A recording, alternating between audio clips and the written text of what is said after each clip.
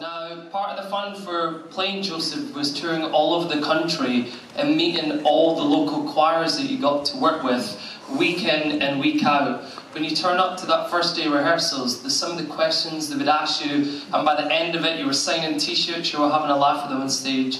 It was one of the best things to see their faces light up through every single show, and it brought out kind of the kid in all of us as we went along uh, around the country. So we set out through this tour to get 64 different groups of kids. And please welcome tonight Stagecoach Malvern!